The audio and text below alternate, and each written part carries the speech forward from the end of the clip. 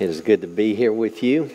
Uh, for the guest here, my name is Steve Rymer, uh, and um, I've been here one other time to preach. I'm teaching a Bible study right now for uh, uh a period of time, and we've had a fun time, but it's always a joy. I, I love your pastor. Uh, pastor Casey is just an incredible young man, uh, um, and just a blessing. I get to spend, I make sure we go out every other week or so, and I take him to lunch and just kind of pour into him, and we just talk about life and what God's doing, and and he's always got questions. What what what do you do in this situation? What do you do? And I, um, because of my age, I have a lot more experience than he does. Uh, pains me to say that. Uh, um, and, and it's shocking how many things you learn by doing it the wrong way. Yes? Oh, my word. So I, I just have a lot to share with them, and we have a fun time. But he asked me to come.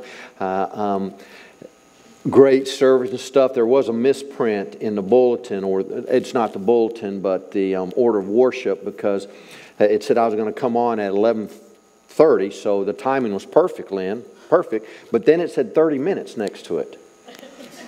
So that if you've heard me the first time, you know that is a joke. Uh, um,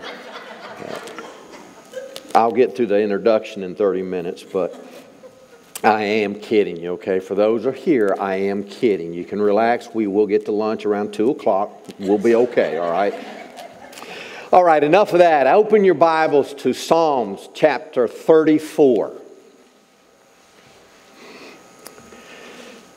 Today we're going to talk about something I feel like um, uh, is, is so important to our culture today, our walk with the Lord, and our influence to the lost world around us.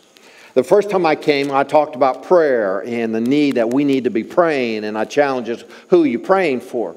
Well, today it's going to be on praising God and how that affects things around us and how we should be setting the standard in that as believers because we have a lot of things to praise Him uh, for and to draw attention to Him, not ourselves or the circumstance. The sad thing is, most people whine and complain all the time, and they draw attention to what? Their circumstance and their poor selves. And that wasn't God's design. God designs us to point attention to Him. And we do that as we learn to praise Him. Okay? Let's listen to David. David wrote the Psalms, Psalm 34. Let's look at verse 1. Verse 1 says, I will extol the Lord at all times. His praise will always be on my lips. My soul will boast in the Lord. Let the afflicted hear and rejoice. Verse 3 Glorify the Lord with me. Let us exalt his name together. Let's pray. Father God, we thank you and we praise you for this day. And God, for the freedom we have in this country to assemble together to worship our God, the one true God. Now, Father, I pray that um, the things we've been involved in this morning or the things we got planned for this afternoon, God, for right now, help us to set that all aside. Uh, Father, help us to focus in on you and what you have to say to each of us individually. Father, I pray that you get me out of the way and you fill me with your Holy Spirit and you anoint this time. God, give us clear understanding into your word. And Father, give us the conviction to live it, to do it. In Jesus' name we pray. Amen. A number of years ago, um, I served for about 23 years as a, uh, a student pastor. Uh, and uh, Lord gave me opportunities to, to minister at larger student pastors, uh, churches, which meant I had large number of teenagers. Now, most people, when they think of teenagers, they say, "Oh no, give me children." Just, I was the opposite. Don't give me a child, because they can't talk. I don't know what they want. Give me a teenager. You know, we don't always want to hear what they say. But I liked it because I want to know where they're at. And so God just opened a, some neat doors throughout my years of ministry with them. And one is I was serving a church in Alabama. Bless you. Um, I was serving it, and every week it was a, a larger church. They ran about 2,500. Uh, and every year we would have a special week, which was, and this goes back, Mission Week. Y'all remember Mission Weeks the way we used to do it 30 years ago? Okay. Where we would invite in uh, um, missionaries from all over, and they'd come in and stuff like that. And so that's what we did. And on Sunday, we uh, it was a climax. It was the end of our big old emphasis, and we had Dr. Stephen F. Olford come in and, and, and speak. Now, for those that don't know Dr. Stephen Olford, Dr. Stephen Olford, he was born in South Africa, raised as a missionary. Okay, was educated in the uh, United Kingdom, and then he eventually moved here and had a church in New York. He became known as the expository preacher. In fact, Billy Graham says that Dr. Stephen Olford had the greatest impact on his life than anyone. Influence over his ministry, okay? So here's this man. I had the privilege after this meeting to go, my pastor wanted me to go with him to a, an expository preaching conference at his ministry there in Memphis, Tennessee. And so we got to go there and spend a whole week with uh, Dr. Olford and just talk. It was just a blessed time. But the first time I met him was at this conference when he was wrapping the week up and talking. And he began talking about his days when he was uh, in South Africa. And he was a young boy, and he can remember one time that uh, a, lion had come into their village and came to their area where they lived, and the lion had killed their number one cow. Okay? And so they realized uh, when a lion finds an easy meal, an easy good meal, T-bone steaks, okay? When the lion, he will keep coming back until he, there's no more. Okay, he'll get his full, he'll leave, but then he's coming back. So they knew that lion was going to be coming back because there are more cows in the area. So he got a buddy of his, his neighbor, and they all uh, they made a plan one night to, to go up and try to hunt him down, okay? Now, what their, their way of doing it, they were going to get up and it was a stilt house. It was like a, a fort up on stilts, okay?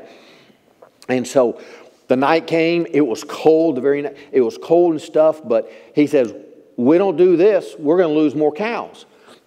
And so he and his buddy went out, got up on top of that stilt ha- uh, room, and just sat there throughout the night waiting for that lion to come back.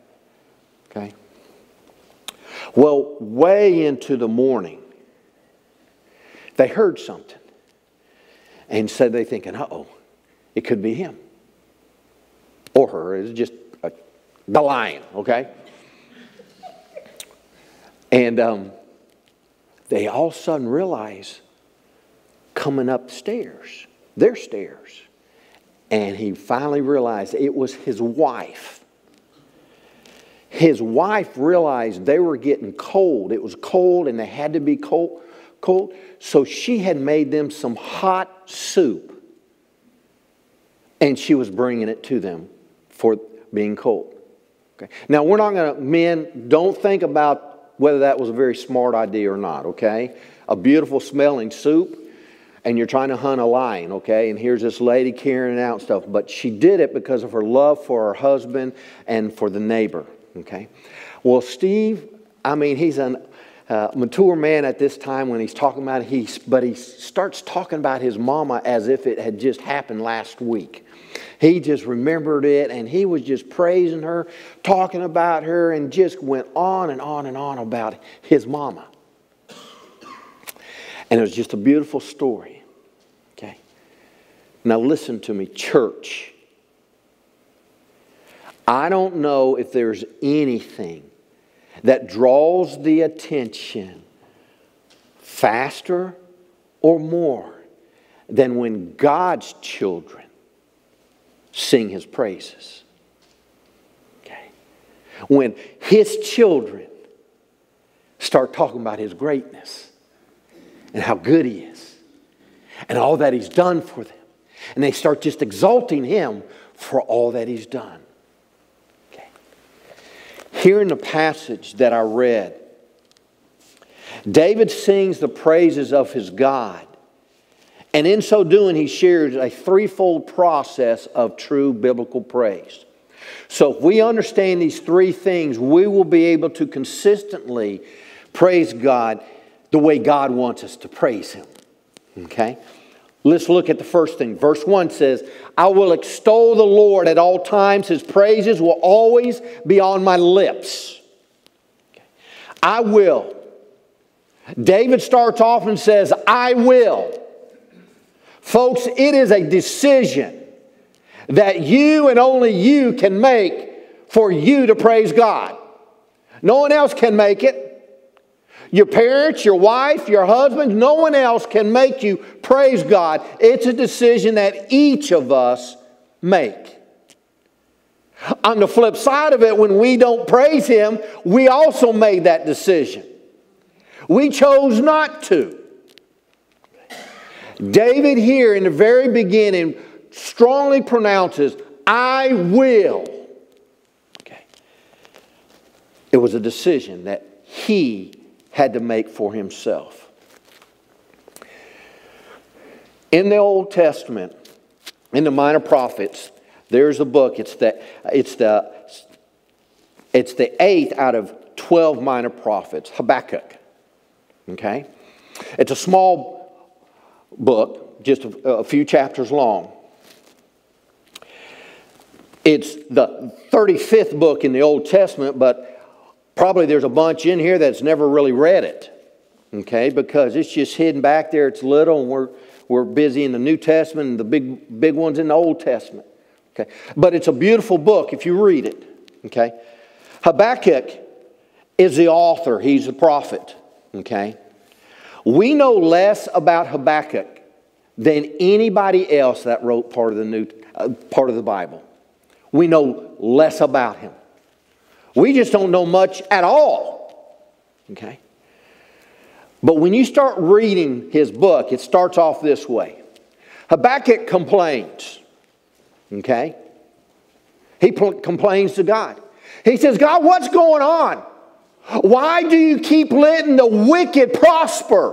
Why do they keep standing tall? Why don't you knock them down? Why do they keep doing good and the rest of us who are trying to do right don't seem to be prospering? God, why? Why? Why?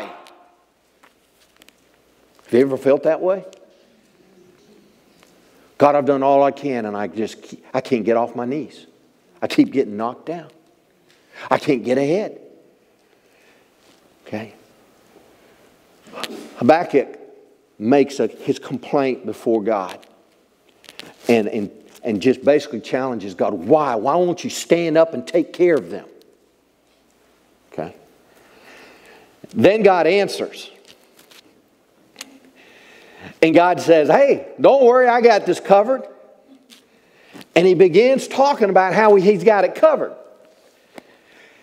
He in his sovereignty says, I'm going to send a nation and they're going to wipe out and take care of the, the wicked. The only problem with his solution was the nation, the Babylonians that he was going to use, were the most wicked of all the people. So he was telling them, hey, we got this covered. I'm going to use the most wicked of all nations and people to take care of these bad people.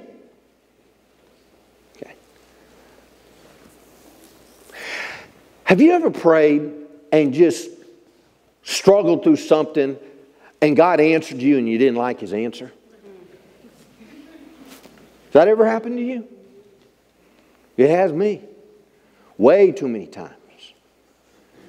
It happened to Habakkuk. He, he didn't like God's answer, he didn't like it at all. And so he came back a second time. It amuses me every time I read it, but Habakkuk gave God instructions of how to handle the problem. Anybody in here ever told God how to handle the problem? Hello? We all have, right? When God's spoken to us and we feel like, God, I've got a problem, my child, I have the problem here. God, do something. And God's, Oh, I'm going to do this. This is what I'm going to do. No, don't do that. This is how you're supposed to handle it. and do it now.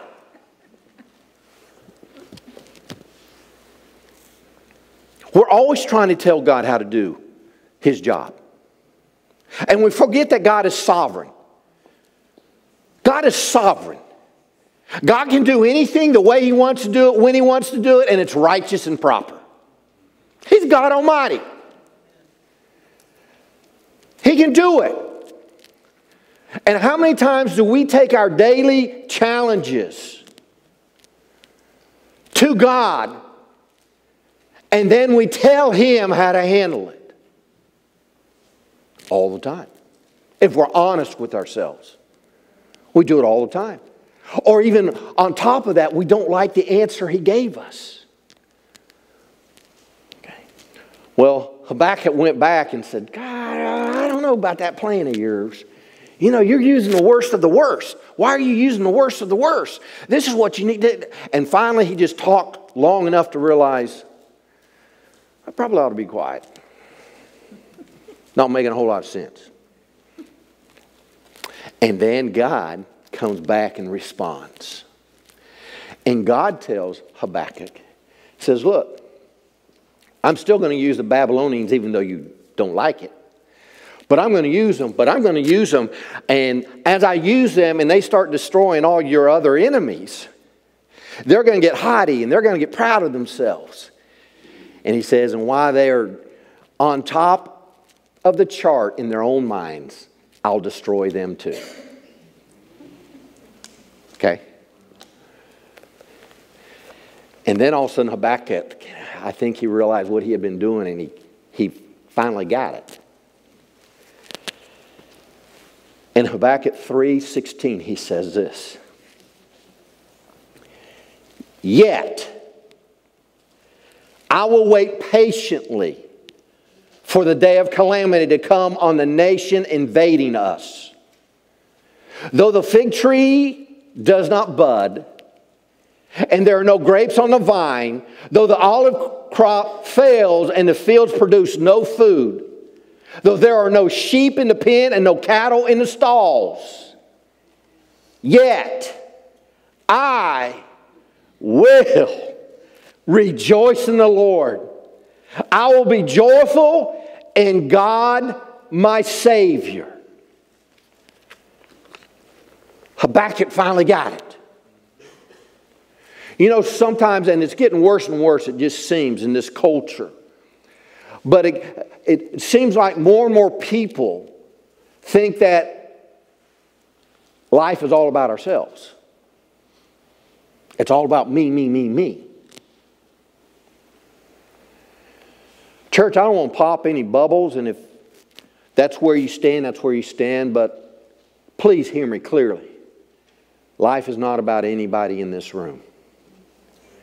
It's about the Almighty that we worship and serve. It's all about Him. It will always be, it always has been about Him, and it will always be about Him.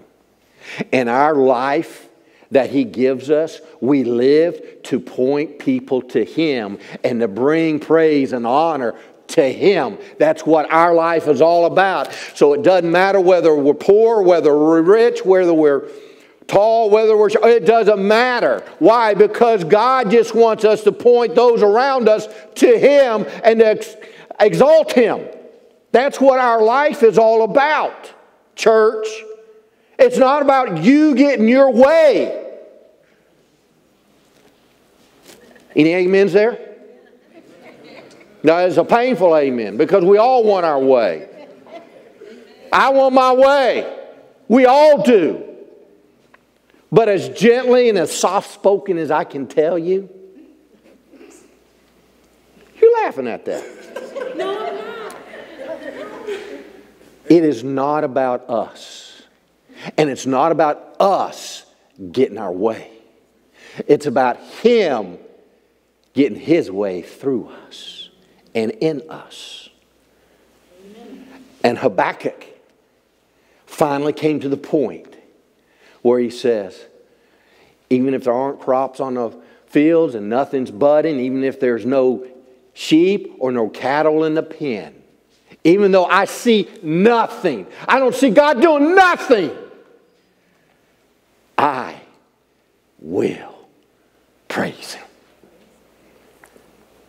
Why is it, church, we don't praise Him until we see something? We're always wanting to see proof of God. Habakkuk finally got it. And he exalted God way before he ever saw anything. Okay. It starts with a decision. True praise. And then it says, extol means to bend the knees, to kneel by implying to bless God. And he said, at all times. It's easy when we bless God during the good times. But that wasn't the case for David when he wrote this. You know the circumstance when David wrote this? David had killed Goliath, and what meant huge victory was created problems for him because the minute he did that and he got the people looking at him, what happened to King Saul? He became insanely jealous of David, and he began a lifetime time pursuit of David trying to kill him. In fact, he never stopped trying to kill David until the day Saul died. I mean, he spent his whole life pursuing David. He'd have those up and downs with David, and he'd want David to come and sing and play the harp and stuff like that, and then all of a sudden he'd get jealous and throw a sword at him and try to kill him. It was constantly trying to pursue David to kill him. So David had had all he could muster up for that time, and so he went to an enemy, Achish, the king of Gath, for safety. He went there one he went there just to chill out, but unfortunately the people recognized him. Why? Because David was so famous because he was the greatest of the great when it came to warriors. And so all the nations feared him. They knew who he was and he was there. Okay? Now, follow this because this makes no sense.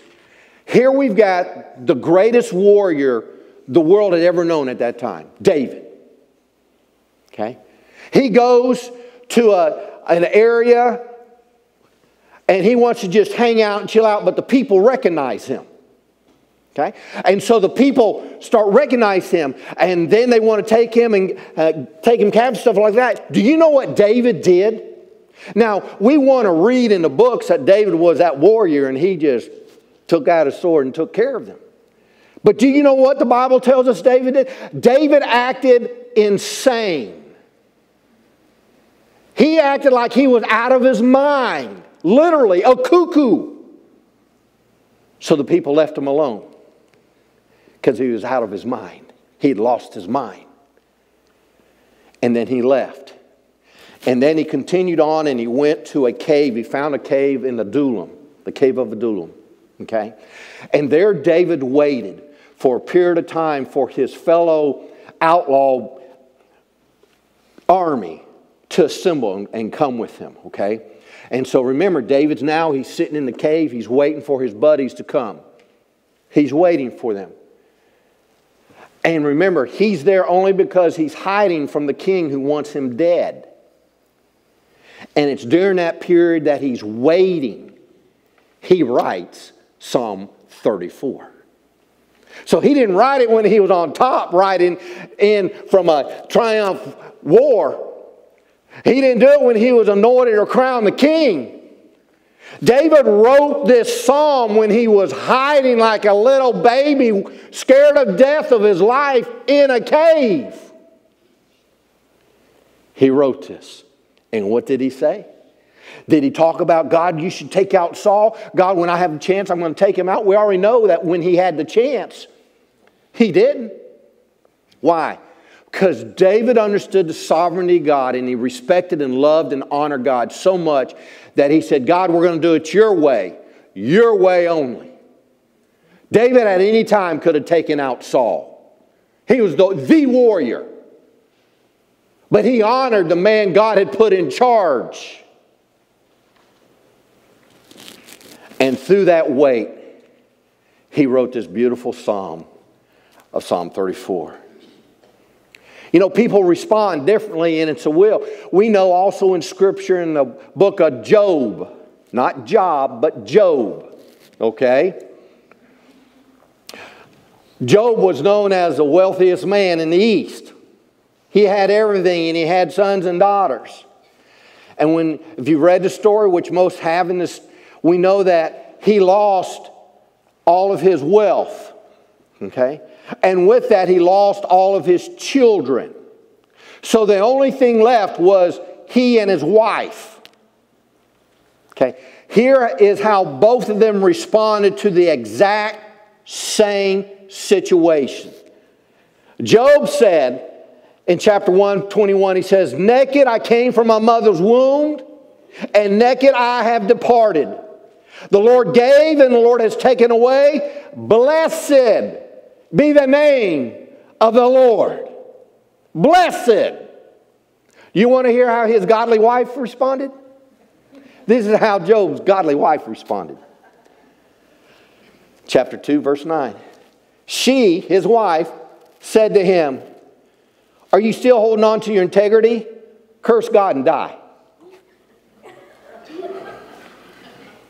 Whew, that's kind of woman every man needs by his side, isn't it?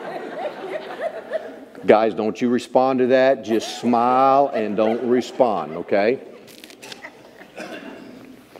We'll do marriage counseling afterwards. No.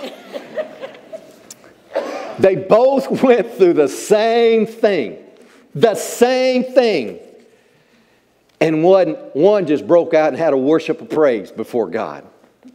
And the other one, all she could do is curse him and tell her husband, You might as well die because you're not worth anything. So, why do I? I'm spending a lot of time on this one point because it starts with the will. It's not going to just happen. We have to decide our reaction and our behavior, and we do.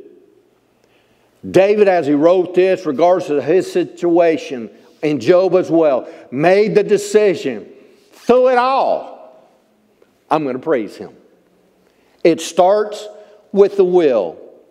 And then praise flows to the emotion. Okay? Starts with the will, but it flows to the emotion. Look at verse 2. It says, My soul will boast in the Lord.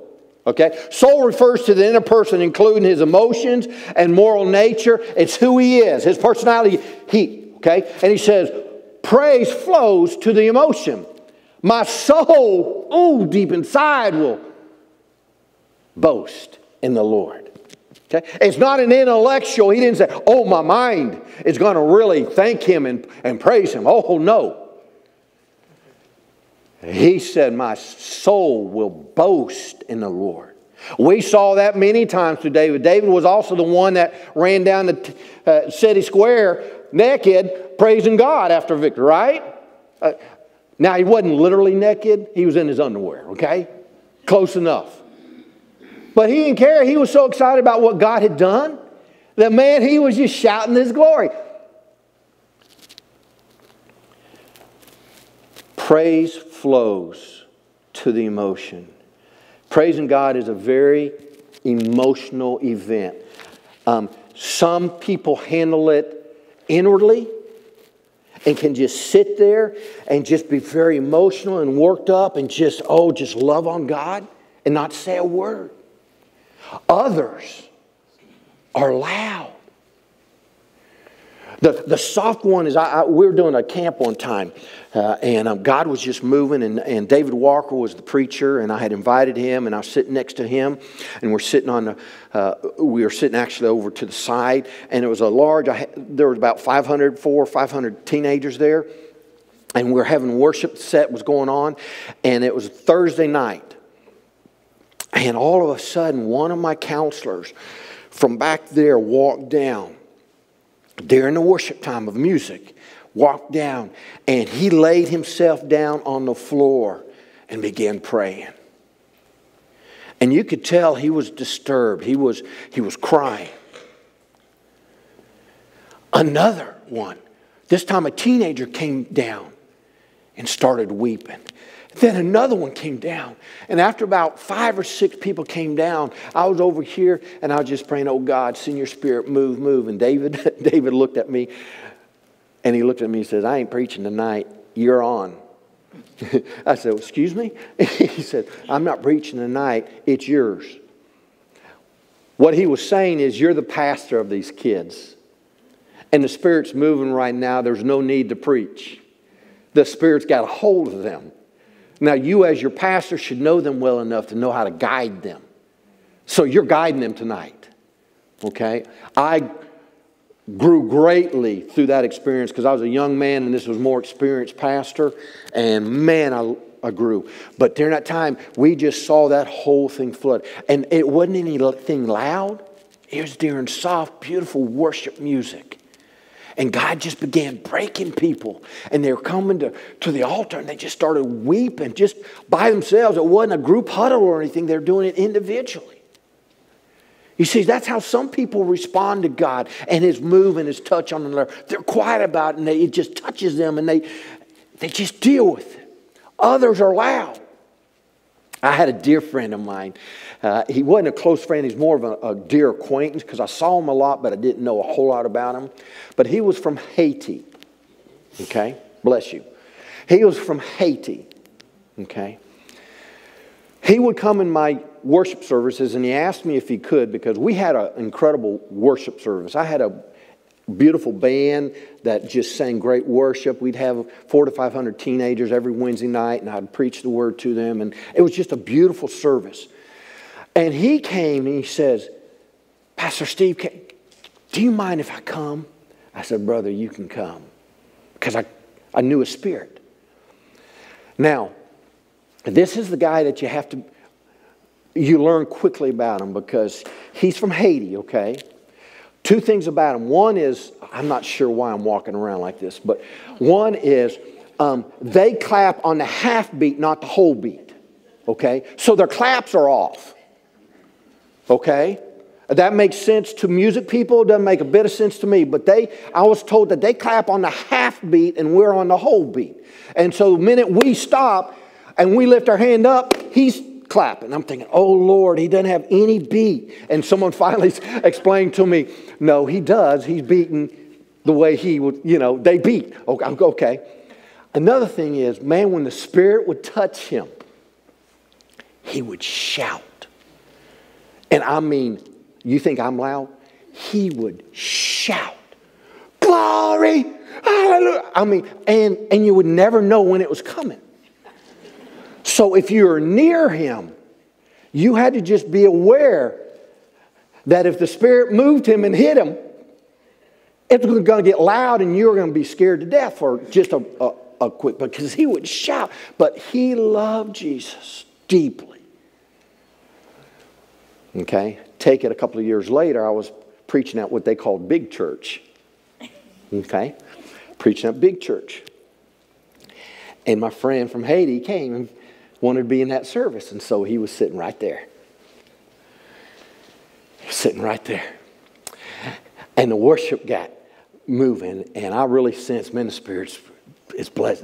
It's, he's using this worship. This is a sweet time. So I knew what that was going to happen. He shouted. Now, now he's no longer with teenagers. He's with the mature people. And he shouted, Hallelujah. And he just went on. Okay. Two rows in front of him over on this side were three longtime church members.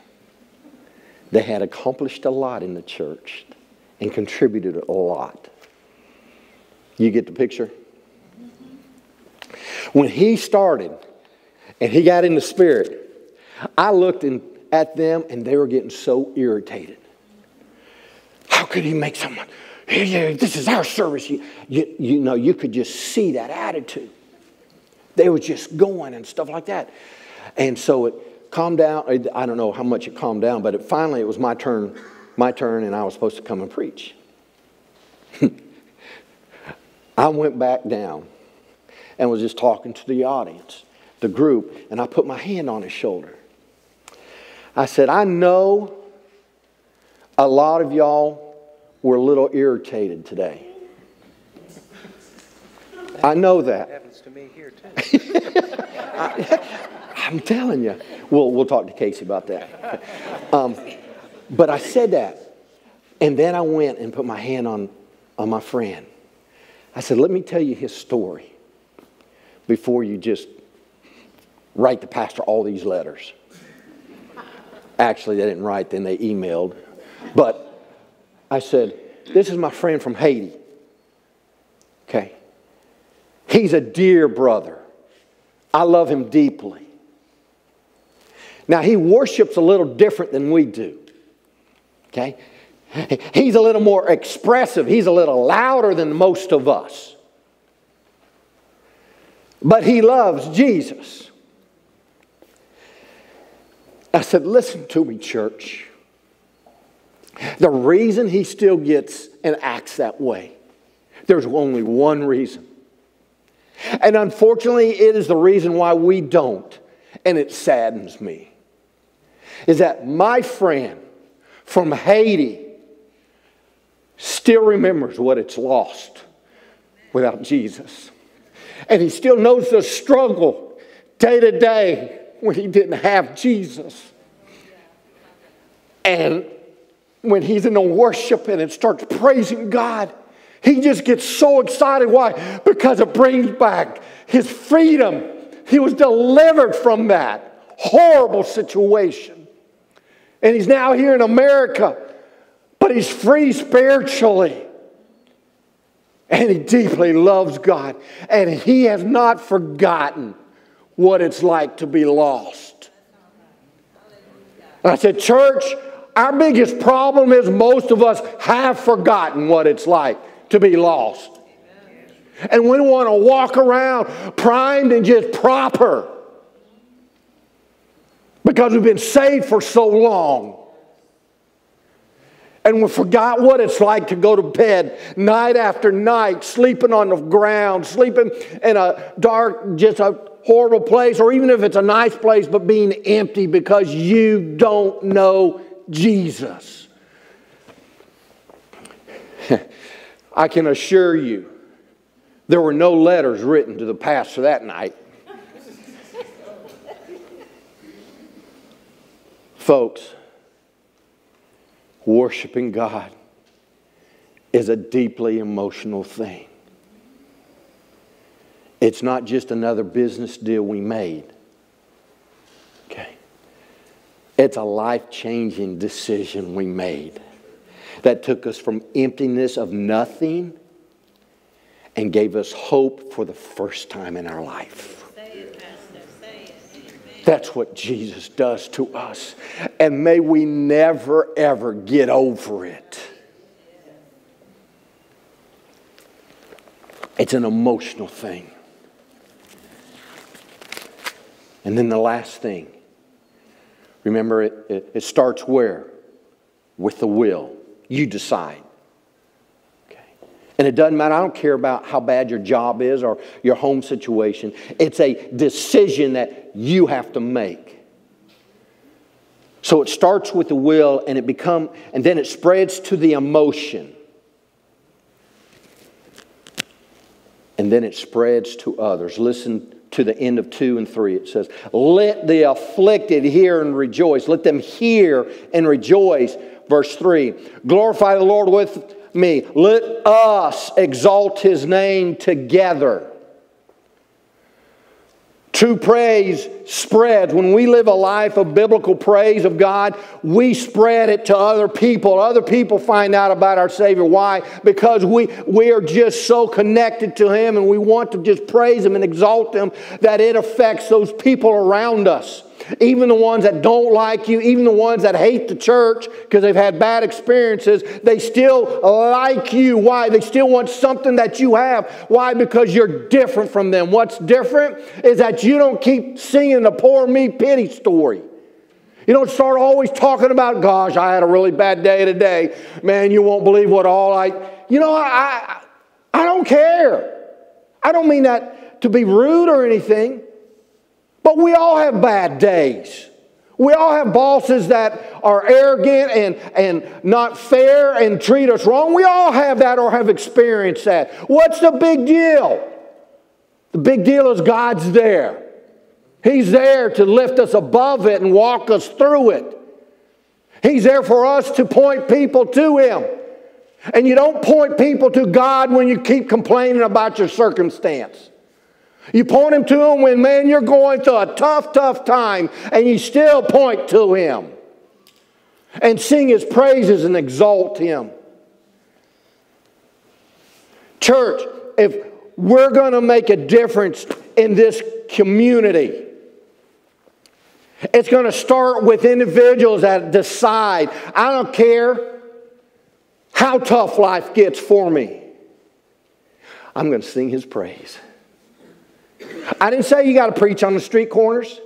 I don't say you have to go up and just tell, Do you know Jesus? Are you saved by the blood of You don't have to do that, even though some people do. All we have to do is just praise Him for His goodness, even through the tough times.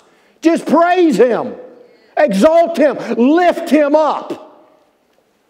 Because when the lost world sees a man going through the same thing they're going through, but he's got a smile on his face and he's got peace and rest in his soul, they want to know what's up. Because it changes. I want to congratulate. I have a dear friend, a dear friend, fellow pastor that served on my staff, works a store on, uh, on 50. And I talked, was talking to him this week, and he said that two ladies from this church have come there twice now and have invited he and the owner to the church. Thank you for doing that. I don't even know who it is, and it doesn't matter. But thank you for doing that. But that's what I'm talking about. Just being real with people. Just living your life. And just be real. I don't mean to be a fruitcake and be some strange Christian. I run from them. I had a guy at UCF that I went to school with that I don't, it's just true.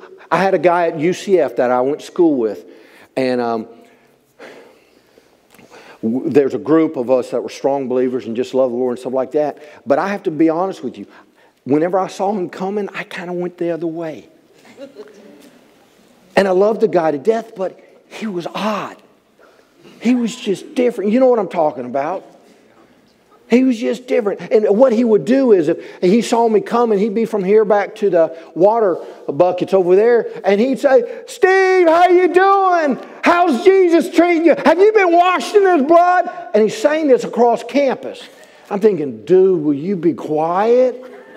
Why are you doing that? So the best way I handled it was just to avoid him. Why? Because I, I that's not for me. That's not for me. But relationally, man, I love sitting down and talking, going for a motorcycle ride or going to eat. I love it. And just talking about life and you know what's going on and just presenting the side of Christ of what he's done for us. What an impact. And then that day will come when they look and just say, Man, we've been, tell me about your God. I mean, how can I have a relationship like you have? That happens. I mean, but it, it starts with God's people living a life that is so honoring and, and to Him that it attracts people to God. We are literally supposed to be like magnets for Christ. We're supposed to be so magnetic because we reflect God that we just draw people onto the cross. Because let's be honest, let's be honest. Isn't it Jesus that made the difference in our life? Isn't it Jesus? It's not that great job that you have. It's not that incredible house you live in or neighborhood.